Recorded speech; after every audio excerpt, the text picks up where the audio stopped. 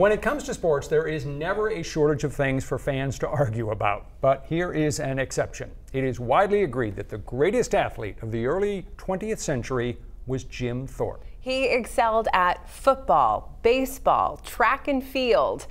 Off the field, though, he struggled to find his way in life. Pulitzer Prize winning writer David Maraniss tells the story of Jim Thorpe in his new biography, Path Lit by Lightning.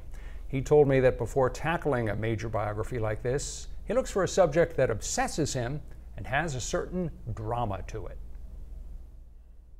But I'm also looking for something more, um, a way to illuminate uh, American history and sociology through the character that I'm writing about. And Jim Thorpe offered me the opportunity to write about the Native American experience through his incredible life. He was a Native American, a member of the Sac and Fox Nation. He went to what was called the Carlisle Indian Industrial School in Pennsylvania.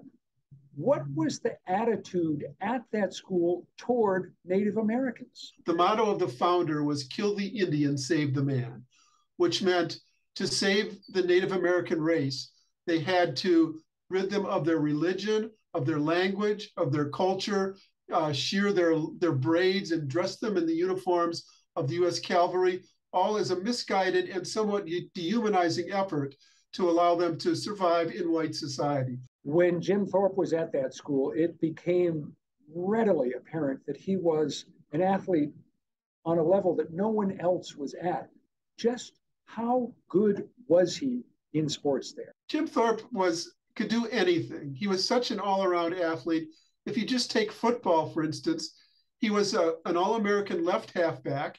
He also played the entire game, 60 minutes. He played defensive back um, on defense. He also was their punter. He could punt the ball 70 to 80 yards routinely and he was their place kicker. So there was absolutely nothing on a football field that he couldn't do. The 1912 Summer Olympics in Sweden may have represented the zenith of Thorpe's athletic career. Competing in 15 events, he won gold medals in the decathlon and pentathlon.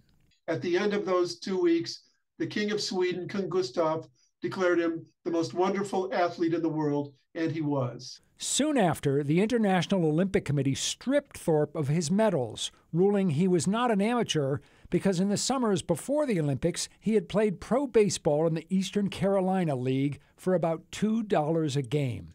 Most of the other players in the league played under aliases. Thorpe did not. He did not think what he had done was wrong, and he did not run from it, but his name was tarnished he was defeated by the adversary that gets to all athletes, and that is time. His skills eroded, and he couldn't do the remarkable things that he had done.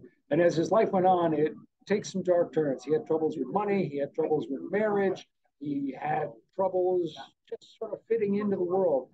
How did you try to come to grips with him in the latter part of his life? How did you try to tell that part of the story? Well, you're absolutely right, Rob. It was the last 30 so years of his life were difficult, and I kept rooting for something better to happen for him.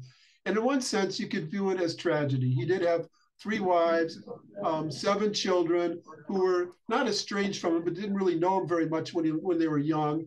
And he struggled with alcohol, um, but he kept moving. He kept trying to get another job. He lived in 20 states. He at one point worked as a as a ditch digger in Los Angeles. He worked on the fringes of the Hollywood studio movement um, acting in 70 movies over that course of time. And I came to think of that as an act of perseverance more than as a tragedy. When I was growing up, and this was a while ago, everyone who was interested in sports knew about Jim Thorpe. Thorpe. But as I was getting ready for this interview, David, I mentioned what I was going to be doing, and this person I was talking to was a sports fan, didn't really know about Jim Thorpe. Is he fading away in American history? Well, his greatest year was 1912, 110 years ago. so um, he, he, has faded some, but I think that there's a restoration. You know, just this year, um, only a, a, couple of months ago, the International Olympic Committee restored all of his records and medals. He finally got his justice.